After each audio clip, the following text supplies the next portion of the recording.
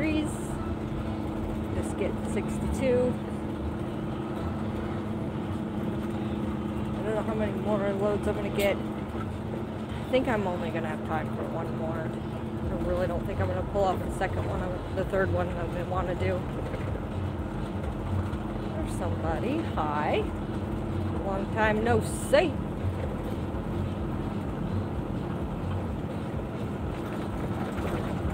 I'm doing a live on Adriana's suggestion. Hi. Hello. Hi. LBC, what's up? Hi. Hello. From North Dakota. Nice. Hello. Hi, hi, hi. Let's get some people on here and then I'll show you my new tack. I got it the got my tack in this truck here because it got delivered to my workplace. So I threw the box in here and then I had to do a trip. So I opened the box up. 389. Hello, hi. I got a lot of stories. I'm just not sure how many I'm going to tell just yet. Having a good day. I have been, hmm, I've been good. I'll go with good been good. I'm sure it instills you with tons of confidence. Let's just say adventurous. Oh. Alberta friend, well, hello. Pump 4 gang. yeah, but I'm at, I'm at pump 2 this time. I don't normally do lives from here. It's my secret space that I can talk to my friends on the phone. I'm not obligated to do lives. Haha. Terrible, I know. Got the music going today. Usually my music's on my phone. Can't play it. How's life on the road? I'm telling you, there's so many freaking tourists up here, it's unreal. Tell it like it is. I will. They're all interested in coming up here. Hey, Jesse! Um, seeing all this stuff up here, it's like a freaking superhighway. It's like it's an industrial road. Look out! So there's a guy pulling a cart, and uh, my buddy said he saw a unicycle. Like I'm like, oh my gosh, people like a bicycles, walking, motorcycles, campers. Yeah, I haven't ever stopped working up here. Just long enough to kind of let like the road settle down for a minute. It's still really bumpy and bad, but working on it. My day has been good. I've been having fun. How about you? There, it smoothed out a little bit.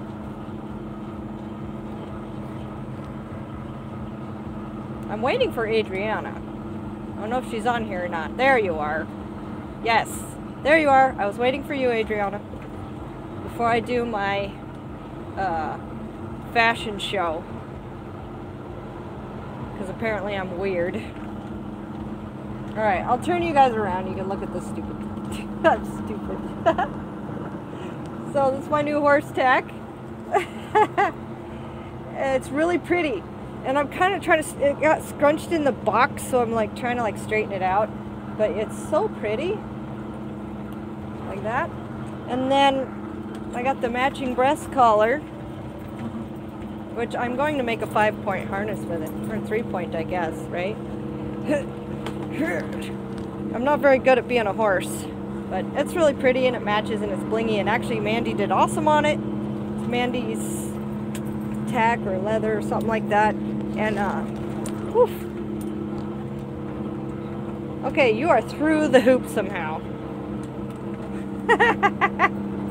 Clearly, I put it on before I put the headphones on. Alright, I gotta undo myself here. There we go. Oh. So that is for seven, my Gypsy Vanner. My big one.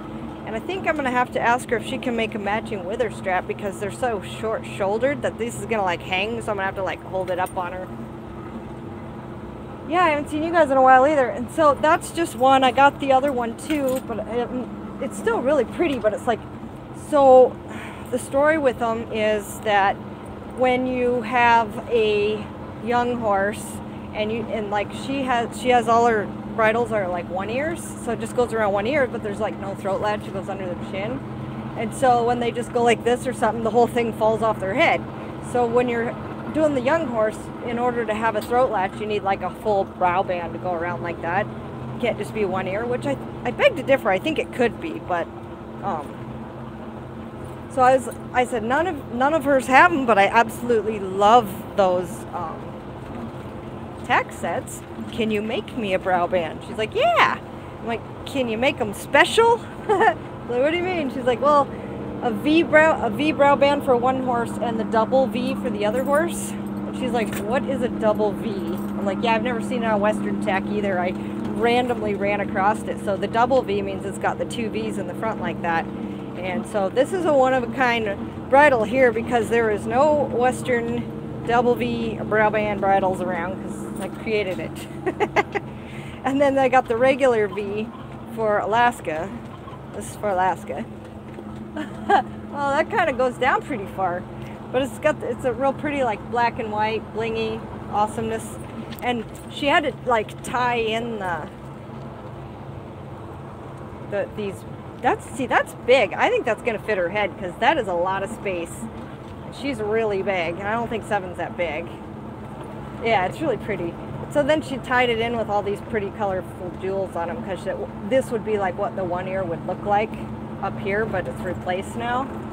And then the the matching breast collar for that. Yes, I drive around with tack in my truck because it's awesome. All right, here's this one. See if I can show you. Yeah, super pretty. And I thought it was on black leather, but apparently it's on brown leather. Oh, good. I'm glad you're a fan. So this is super gonna super gonna look pretty on Alaska. So, oof. So that's my big thing I've been doing this entire trip is staring at this blingy tack. I even stopped my buddy on the road. I'm like, hey, you gotta check this out. like, I know you get so excited over tack. He's like, oh yeah, don't show my girlfriend. She'll want them too. Then he leaves and then he texts me. He's like, those are actually really, really pretty. Uh, yeah. So that's what's going on in Lisa World. I think that's as far as I'm going to go with Lisa World stuff right now. I'll, I'll give you more news later. But, uh, yeah, that's why I'm up here driving. So the only thing I spend money on is my freaking horses. So, um, that's why I work, is for the horses. Davis is like, um, you have too much money. I'm like, no, I don't. I have horses. I have no money. uh, I might make some money, but boy, does it go out the window really fast. Yeah, the thing though is you got to spend the money because, okay, I'll face it, front. Got to spend the money because um, when you get a bunch of new horses, you need all new tack. You need saddles that'll fit them. Yeah, you can't just like go around with horses with no tack on. That doesn't make no sense.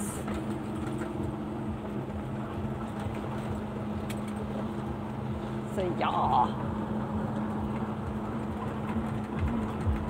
Let's jam out, huh? Ooh, that's pretty. Uh, yeah, holy potholes, that's right. I don't know if the horses will love it, but I'll sure love it on them. All my friends will be like, do I have to wear that blingy stuff on your horse? Yeah, it's kind of cool. Oh, so I can tell you, um, need to pick up to tow the trailer. New Zealand, right on.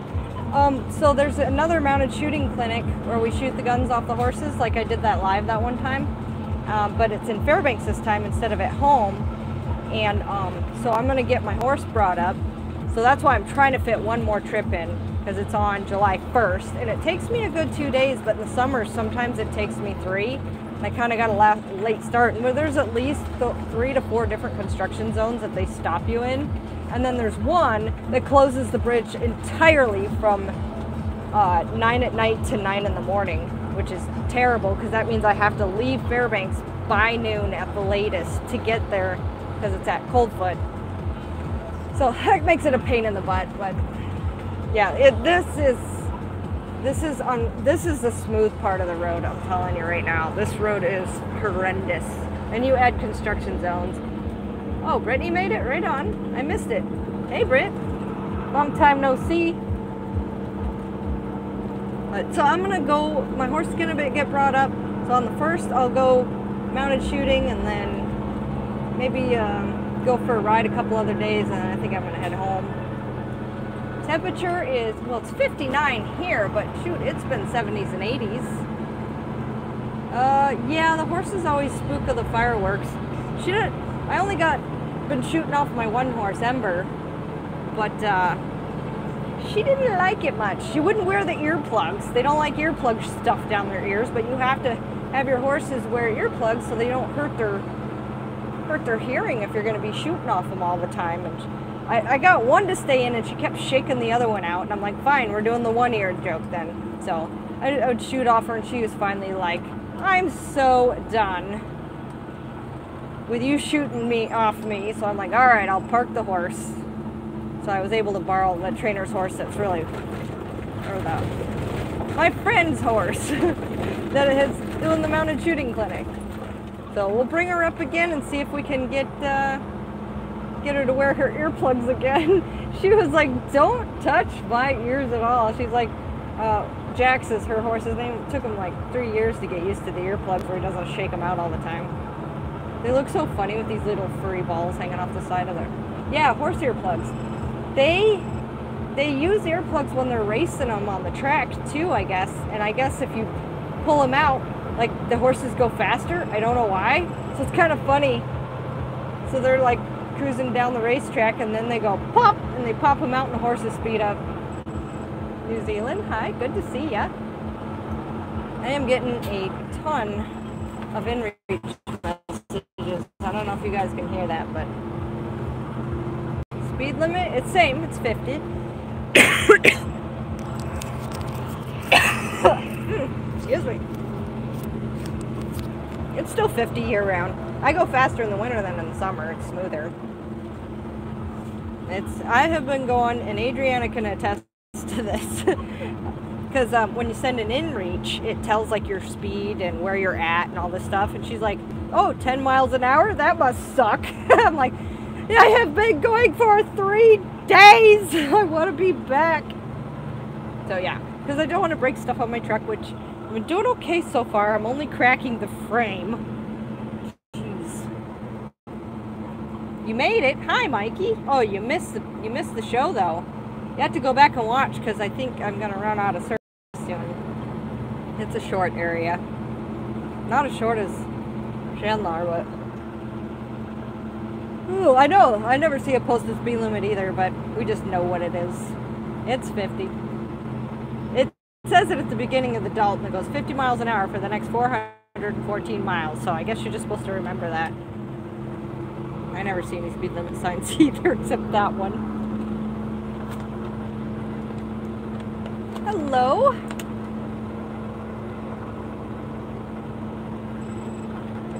Fifty. It is. It's fifty, and I can never even get going fifty. It's stupid. It is such slow going. Yeah, I'm trying to keep the sunny side up. It's kind of hard to flip it upside down when you're going 10 miles an hour. My buddy Evan, he's like, you know, your tires would wear out faster if you went faster than six miles an hour. I'm like, well, I'm going to make these last 10